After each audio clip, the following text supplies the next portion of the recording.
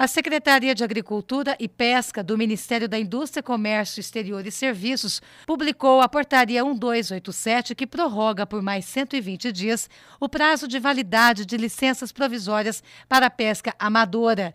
Para usufruir da prorrogação do prazo, o pescador terá que apresentar a licença provisória para a pesca amadora, o texto da portaria, o comprovante de pagamento da licença definitiva e um documento oficial de identidade. Segundo o presidente da Associação dos Pescadores Amadores e Esportivos do Vale do Rio Grande, Wilson Aparecido, após a fusão dos ministérios desde 2016, tem acontecido vários atrasos nas emissões das carteiras. Se não tiver a licença, o pescador está sujeito a autuações dos órgãos de controle, como o IBAMA e as polícias ambientais. Sobre as multas, o presidente da Associação dos Pescadores Amadores do Vale do Rio Grande explica como funciona e como são aplicadas. É, o limite é 10 quilos no exemplar. Entendeu? Então, eles vão aplicar a multa de acordo com a quantidade de peixe que você tiver. Se você tiver lá, não tiver a carteira, se tiver 20 peixes, cada peixe será aplicado uma multa.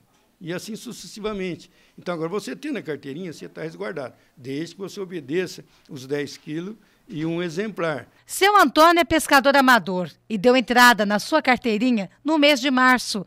Mas até agora, a tão sonhada licença para pescar não chegou e tem medo das multas se for abordado pelas autoridades competentes. Por a gente querer andar certo, quando chega o tempo de renovar as carteiras, a gente vem e faz a renovação.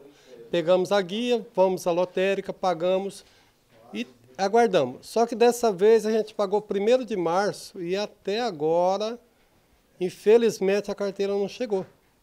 Então nós temos medo, porque aquela, aquela taxa que a gente pagou ela é válida por 30 dias. Nosso amigo disse que nós estamos cobertos de razão, porque isso é problema do Estado, que não mandou. Mas e quem dá a segurança para nós no dia da manhã se alguém abordar nós e falar que nós estamos errados porque venceu os 30 dias? Nós vamos pagar uma multa e a quem nós vamos recorrer? Então tá difícil, né? Precisamos dar uma adiantadinha, pôr a roda para rodar aí e entregar os nossos documentos que estão pagos.